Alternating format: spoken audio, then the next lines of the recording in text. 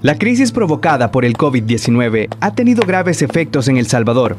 Todos hablan del impacto en la salud y la economía, pero hay muchas más consecuencias.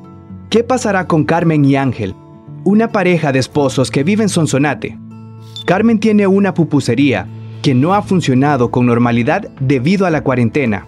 Está preocupada por su esposo, quien padece insuficiencia renal y necesita ir a consultas, pero no tiene los medios para transportarlo Carmen también se ha sentido mal de salud la última semana. Una enfermera vecina cree que podría tener una grave infección gastrointestinal, pero Carmen no visita el hospital porque tiene temor.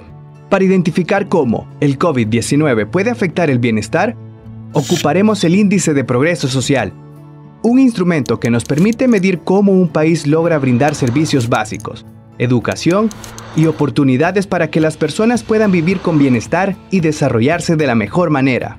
Las muertes por enfermedades infecciosas y no transmisibles son indicadores de la dimensión, necesidades básicas y fundamentos del bienestar, que experimentarán deterioro de acuerdo al estudio COVID-19, una crisis de progreso social.